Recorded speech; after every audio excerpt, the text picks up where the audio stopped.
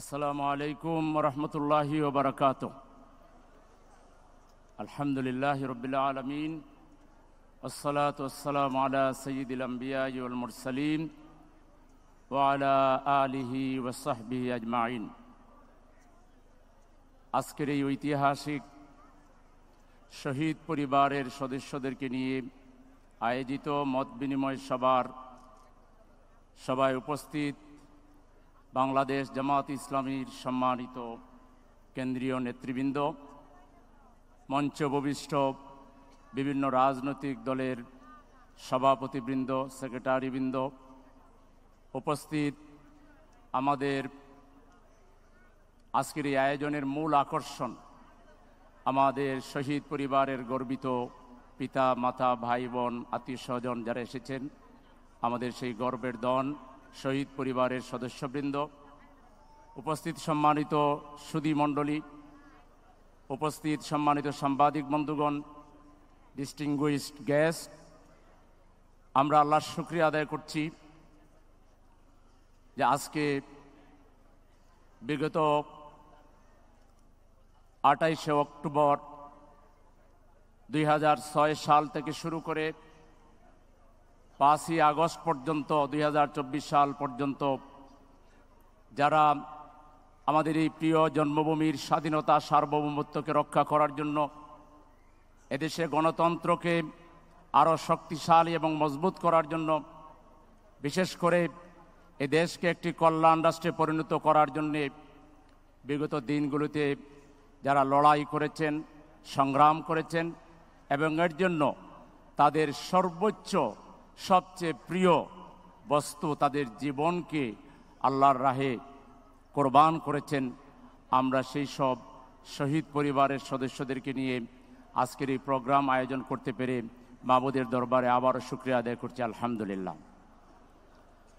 আমরা দীর্ঘ ত্যাগ এবং কোরবানি, লড়াই এবং সংগ্রামের মধ্য দিয়ে ফ্যাসিস্ট হাসিনাকে বিদায় করতে সক্ষম হয়েছি, আলহামদুলিল্লাহ।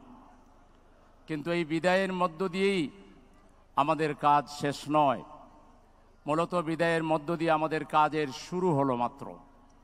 এই ফ্যাসিস্টের রেখে যাওয়া সকল জঞ্জাল, সকল আবর্জনা এবং তাদের এক্সটেনশন তাদের দোসর যারা এখনও এই বাংলাদেশকে ক্ষতবিক্ষত করার জন্যে, এই দ্বিতীয় স্বাধীনতাকেই ধ্বংস করে দেওয়ার জন্যে, বিপ্লবের চেতনাকে ধ্বংস করে দেওয়ার জন্যে যারা এখনও নানাভাবে উৎপাত করছে, ষড়যন্ত্র করছে, বর্তমান যে সরকার সেটাকে আনস্টেবল করার জন্যে নানা পায়তারায় যারা মেতে উঠেছে, তাদের বিরুদ্ধে সেই অগাস্ট বিপ্লবের চেতনায় আমাদেরকে আবারও রুখে দাঁড়াতে হবে। আমরা আজকের এই ঐতিহাসিক প্রোগ্রাম থেকে বিগত দিনে যারা গণহত্যা পরিচালনা করেছে সেই গণহত্যাকারী শেখ হাসিনা এবং তার দোসরদের অবিলম্বে বিচারের কাঠগড়ায় দাঁড় করানোর জন্য আমরা দাবি জানাচ্ছি। আমরা দাবি জানাচ্ছি সাতান্ন জন সশস্ত্র বাহিনীর সদস্যদেরকে যে খুনি হাসিনার নির্দেশে খুন করা হয়েছে, তাদের খুনের বিচার অবিলম্বে করতে হবে।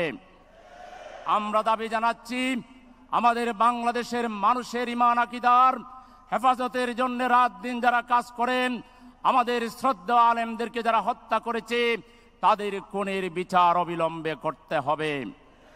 আমরা দাবি জানাচ্ছি, যারা আয়নাগর নির্মাণ করে, আমাদের জাতীয় নেতাদেরকে, আমাদের রাজনৈতিক দলের নেতা কর্মীদেরকে বিশেষ করে জামাত ইসলামের নেতা কর্মীদেরকে আয়নাগরে রেখে যারা নির্যাতন করেছে, সেই নির্যাতনকারীদের বিচার করতে হবে।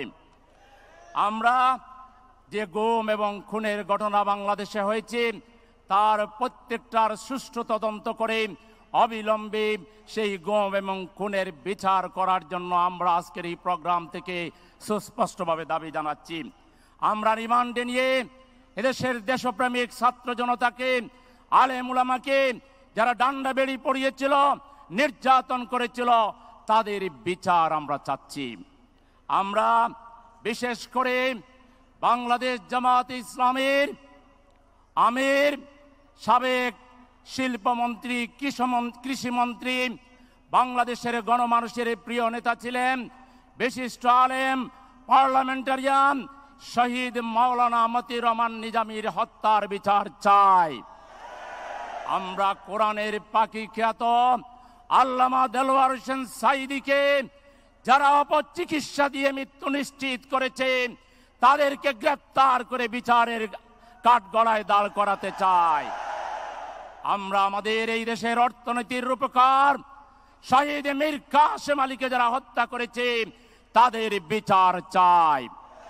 এদেশের বুদ্ধিজীবীদের অন্যতম শহীদ কামরুজ্জামান, আব্দুল কাদের মোল্লা আমাদের প্রিয় নেতা প্রফেসর গোলাম আজম বাসা সৈনিক, professor Golam Azam, Maulana Abul Kalam Mohammad Yusuf, Maulana Abdul Sobhan A K M Nazir Ahmad সহ আমাদের নেতৃবৃন্দকে যারা মিথ্যাচার দিয়ে অন্যায়ভাবে বিচারিক হত্যাকাণ্ড করেছে, তার প্রত্যেকটা ঘটনার রিভিউ করে, তদন্ত করে তাদেরকে বিচারের মুখোমুখি দাঁড় করাতে হবে।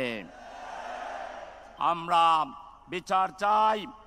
এই সদ্য ছত্রিশে জুলাইয়ের আন্দোলনের মূল উৎসাহ উদ্দীপনা আমাদের প্রিয় ভাই আবু সাইদ যিনি বুক শটান করে দাঁড়িয়ে ফ্যাসিবাদের বিরুদ্ধে যিনি আন্দোলনকে মাঞ্জিলে মকসুদে পৌঁছানোর জন্য তার প্রিয় জীবনকে উৎসর্গ করেছেন সেই আবু সাইদ। আমার প্রিয় ভাই মুগ্ধ যিনি মানবিক আহ্বান নিয়ে পানি পানি বলে ছুটে গিয়েছিলেন, সেই আবু সাইদ মুগ্ধ সব।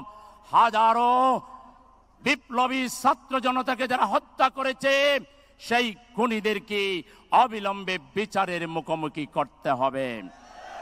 আমরা সরকারের কাছে দাবি জানাই, বিগত আন্দোলনে, ছত্রিশে জুলাইয়ের আন্দোলনে কত শহীদ হয়েছে, অবিলম্বে তাদের নাম প্রকাশ করে তাদেরকে মুক্তিযোদ্ধা হিসাবে, জাতীয় বীর হিসাবে অবিলম্বে তাদেরকে ঘোষণা দিতে হবে। একই সাথে আমাদের যে ভাইরা আহত হয়ে এখনও হাসপাতালে কাতরাচ্ছেন, তাদের জন্য সুচিকিৎসার ব্যবস্থা করতে হবে। প্রয়োজনে তাদেরকে বিদেশে নিয়ে চিকিৎসার ব্যবস্থা করতে হবে। সংগ্রামী ভাইয়ের আমার, আমরা পরিষ্কার বলতে চাই, আমরা প্রাথমিক জয়লাভ করেছি হাসিনার পরাজয়ের মধ্য দিয়ে। চূড়ান্ত বিজয় ছাত্র সমাজের যে প্রাণের দাবি, ওই ওয়ান জাস্টিস বাংলাদেশের ঘর থেকে বঙ্গভবন পর্যন্ত। আর কোথাও আমার একজন কৃষকের বায়ু শ্রমিকের বায়ু কোন মানুষ আর বৈষম্যের শিকার হবে না। এদেশে চাকরির জন্য আর ঘোষ দিতে হবে না। কর্মসংস্থানের জন্য, আত্মহত্যা করতে হবে না। রিজেকের জন্য মাকে সন্তান বিক্রি করতে হবে না। এরকম একটি কল্যাণ রাষ্ট্র প্রতিষ্ঠিত না হওয়া পর্যন্ত আবু সাইদ মুগ্ধের পথ ধরে লড়াই এবং সংগ্রাম বাংলাদেশে চলবে। আমরা এই বাংলাদেশকে পরিপূর্ণ একটি মুক্ত, স্বাধীন একটি কল্যাণ রাষ্ট্র না দেখা পর্যন্ত আমাদের সংগ্রামকে আমরা অব্যাহত রাখব ইনশাআল্লাহ। আমি আজকে যেসব সুধীমণ্ডলী মেহমানবৃন্দ, শহীদ পরিবারের সদস্যবৃন্দ কষ্ট করে আমাদের এই প্রোগ্রামে এসে আমাদেরকে দণ্ড করেছেন, আমি তাদেরকে আন্তরিকভাবে স্বাগত জানাচ্ছি।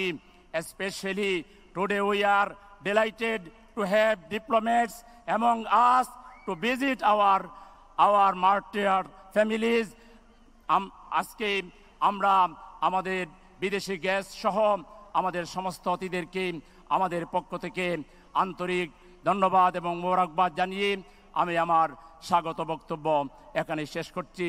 আল্লাহ হাফেজ, বাংলাদেশ জিন্দাবাদ, বাংলাদেশ জামাত ইসলামী জিন্দাবাদ। আসসালামু আলাইকুম আ রহমতুল্লাহি আবরাকাত